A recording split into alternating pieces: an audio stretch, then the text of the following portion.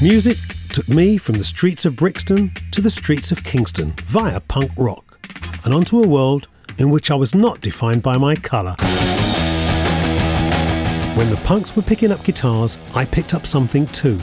My weapon of choice, a Super 8mm movie camera.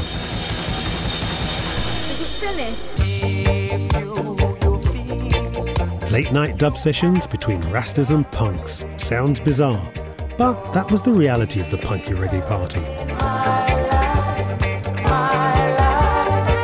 This is the story of my passion for music. This is the story of Dread Meets Punk Rockers.